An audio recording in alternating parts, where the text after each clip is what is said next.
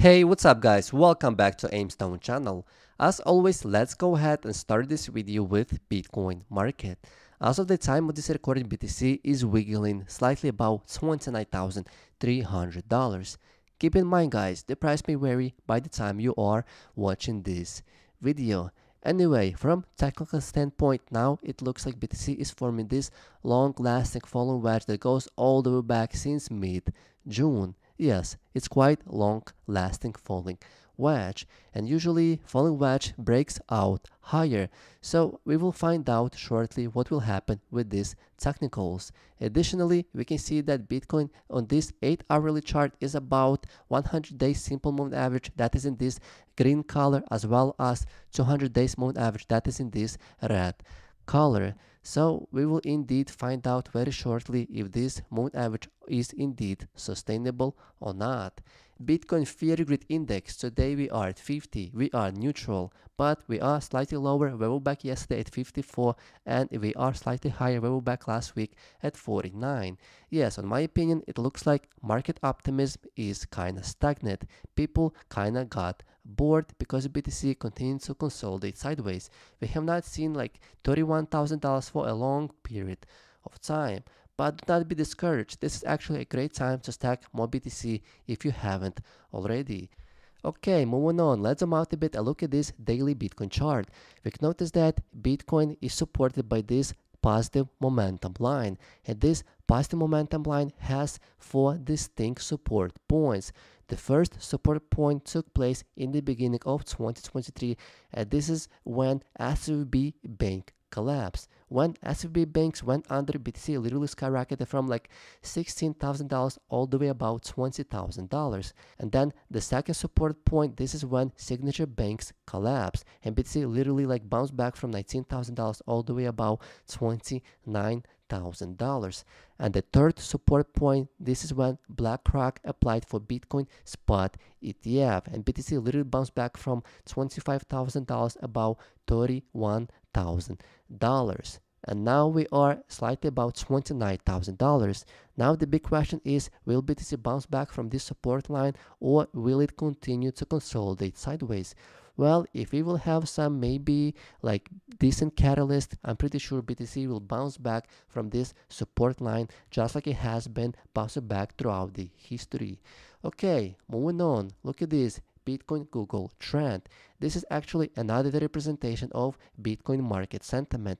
And right now, Bitcoin Google trend in the United States is currently at 14. Last time we have been at 14 in late 2020.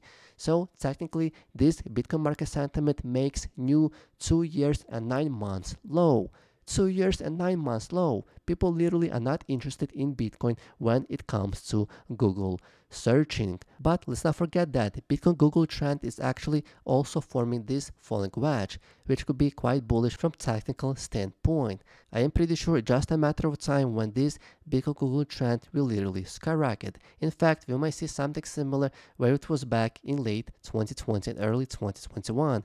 Bitcoin Google search literally skyrocketed from like single digit all the way to 100. Yes, it will happen. It's just a matter of time. Okay, look at this. Just in, pro-Bitcoin president candidate won a primaries in Argentina. Of course, this is fantastic news for Argentinian people. Maybe now Argentina will adopt Bitcoin standard just like El Salvador did a few years ago. If that will happen, of course, it will be hugely beneficial for Argentinian people because, as you know, they suffering from high inflation as well as hyperinflation. Bitcoin solves that problem. Justin Sun says he is a big advocate for Bitcoin and currently holds more than 100,000 BTC. 100,000 BTC, that's a huge amount of money. At this current price, that would be slightly under $3 billion. So technically, Justin Sun is way richer than Michael Saylor. As you know that Michael Saylor personally owns more than 17,000 BTC, and yet MicroStrategy owns more than 152,000 BTC. Yes, Justin Sun is doing just fine. Okay, look at this. SEC delays decision on Bitcoin ETF from Cathie Wood's ARK Invest. Well, we were expecting that. the SEC has delayed decision on ARK21 shares Bitcoin ETF, the latest rollback in years long fight to trade crypto assets directly on traditional US financial exchanges. The deadline for SEC to make some sort of decision on the fund was August 13, which was yesterday. The regulator said in the filing Friday that it's seeking public comment on one of the amendments in the application for the exchange traded fund. Effectively, pushing out the date of the decision is needed for approval. The process may now stretch into 2024. I believe January 2024 is the last date whether SEC wants to approve or disapprove 21 shares Bitcoin spot ETF application. Okay, look at this. John Reed Stark, which basically a former SEC attorney, he gives his own opinion whether SEC will approve Bitcoin spot ETF or not. People often ask me for my opinion on whether the SEC will approve any of the recent spat of the Bitcoin spot ETF applications, which is interesting and important question. My take is that current SEC will not approve Bitcoin spot ETF application for the range of compelling reasons, which are independent and objective experts at the better markets presented brilliantly. And these are the reasons that he is talking about. Reason number one, despite Bitcoin market have history of artificial inflated trading volume due to the ramp on manipulation and wash trading. Yes, this is true that a lot of cryptocurrency exchanges are actually showing false Bitcoin trading volume, but I do not think this is the reason to deny Bitcoin spot ETF. Reason number two, Bitcoin trades are highly concentrated. Well, I don't know about that. And reason number three, rely on the select group of individuals and entities to maintain Bitcoin's network. And this is totally false. Let's not forget that Bitcoin network is being maintained by Bitcoin miners as well as Bitcoin node validators, and Bitcoin mining is distributed throughout the world. As you know that United States is by far the biggest Bitcoin miner. Currently, it consumes more than 35% of Bitcoin global mining capacity.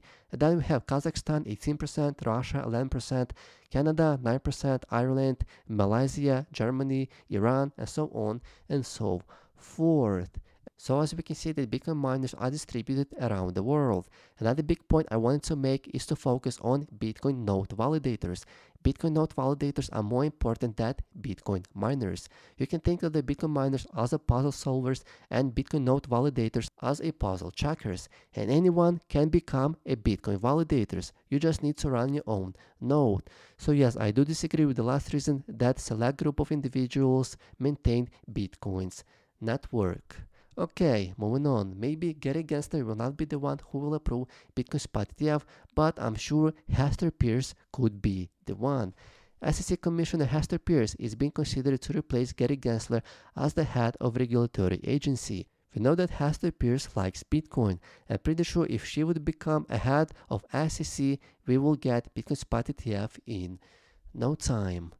Okay, now let's take a look at some interesting Bitcoin charts. This first chart represents number of addresses with more than 1000 BTC. And as we can see, these huge whales literally have been accumulating Bitcoin since the beginning of August. And now, number of addresses with more than 1000 BTC is slightly more than 2000 addresses, which is not that much but 1000 BTC at this current price would be slightly under 30 million dollars.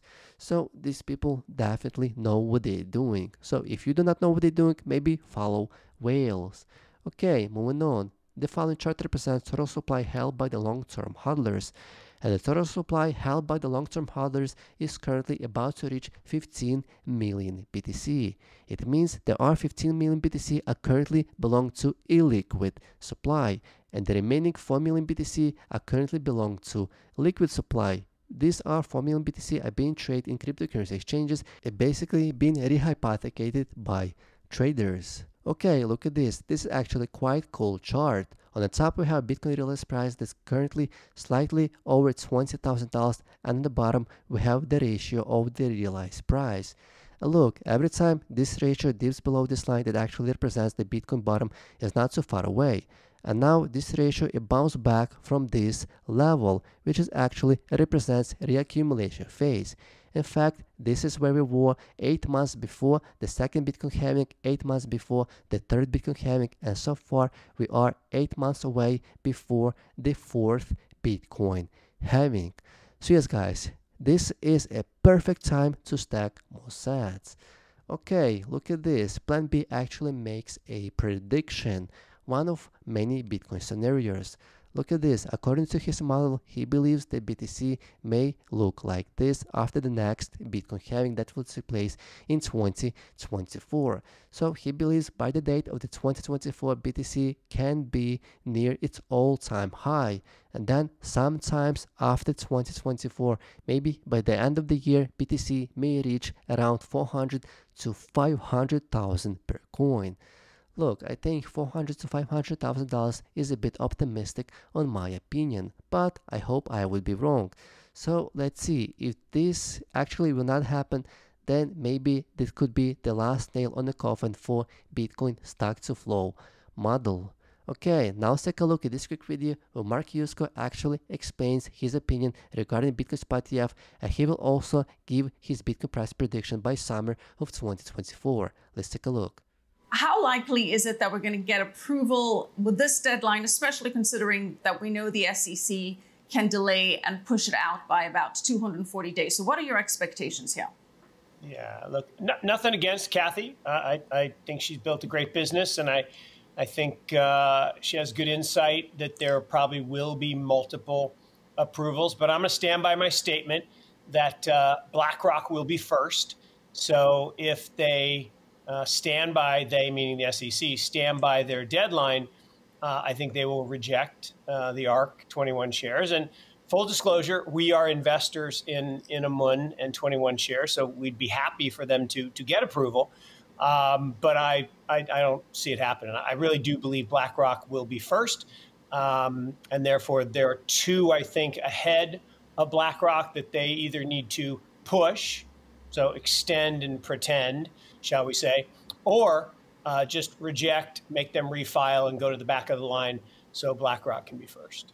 But let's talk about this parabolic price forecast, keeping in mind we've also got the halving happening in April of 2024. So if we see a spot Bitcoin ETF being approved right before the halving or even right after the halving, what does that mean for Mark Yusko's uh, Bitcoin forecast for, say, June of 2024? I'm okay with with numbers because I, I, have a logic for it. Doesn't mean I'm right, but I have I have a logic for for where I think the price is going to go and why I think it's going to go there. Uh, and I certainly think that the spot ETF is is going to impact this. But the primary reason for the movement in the price is the halving cycle. Which so the halving April, cycle yeah. is really one of the most genius ideas that I've seen maybe in my, my whole career. And that's a big statement, but it really is. And what do I mean by that? I mean, markets are, are not prone to movement, right? They only move if there's excess demand or excess supply. Now, there's never excess buyers or excess sellers because for every buyer, there's a seller. For every seller, there's a buyer. But there can be more people with a proclivity to buy or proclivity to sell. So I can look at what the fair value is of Bitcoin using a Metcalfe's law model. And Tim Peterson has the best one, and I just use his. And it would have told me that in 2017, the fair value was $10,000. So when it hit $20,000, it was destined to go down. And it did, all the way to $3,000 because people got overly pessimistic. And then it rallied, and I could see that the fair value uh, in uh, 2020 was $30,000, but we went to $69,000. So it was going to go down. So I believe fair value today is 55K using that Metcalfe's law model. I believe that every halving 10x's the total value of the network, and that's just because the number of people and the way Metcalfe's law works, and there's an exponential growth factor. And so we started with 1,000, then we went to 10,000, then we went to 100. So I think this halving goes to 100,000 will be the fair value. So fair value will accrete from 555K today to by the halving next April, May, call it June. So let's call it middle of summer next year. $100,000 will be fair value. But we won't go to 100,000. We will get to 100,000 and then we'll have speculation. Now, how much speculation? Depends on the approval and the timing of the approval and where we are in the adoption cycle and how much of that 300 billion is coming in. It depends on um, the uh, amount of leverage that allows people to increase their, their, their buying power. And I think the leverage will be lower this time. Um, and so let's say we blow through that 100K and, and we're at 150K. That seems reasonable to me. So somewhere between 100 and 150K. As Mark Yusko indicated, he believes BlackRock will be the first Bitcoin spot ETF that will be approved in the United States and not Cathie Wood's ARK. Additionally, he believes that Bitcoin halving is a way bigger catalyst than Bitcoin spot ETF. And he thinks after 2024 Bitcoin halving sometimes in summer, BTC will reach fair value of $100,000. And usually when market is in euphoria, greed and FOMO state, it literally skyrockets even higher and pushes through the fair value of Bitcoin market. So let's say that fair price is $100,000 and speculated price will be over $150,000. Let me know what you guys think. And where do you think BTC will end up by the summer of the next year? Comment below, subscribe and like this video.